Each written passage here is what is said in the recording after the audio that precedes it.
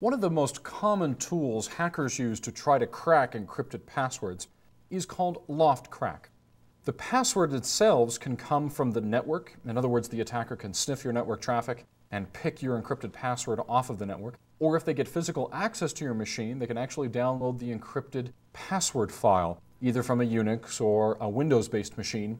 Once they have physical possession of that file, then they can run this L0phtCrack program against it and attempt to unencrypt the passwords. I'm going to go down and select my Start button. From my Start button, I'm going to go up to Programs. And then I'm going to go to the LC4 folder. This is where I've installed L0phtCrack. And then I start the executable.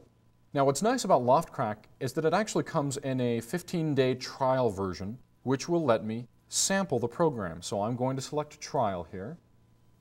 Once I've selected Trial, I'm going to be walked through the L0phtCrack wizard.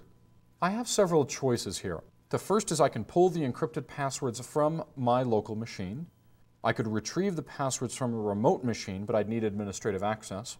I can pull the passwords from an NT4 emergency repair disk, or I can even attempt to sniff them from the network. For the purposes of this demonstration, I'm going to just pull them from the local machine. Now I have an auditing method.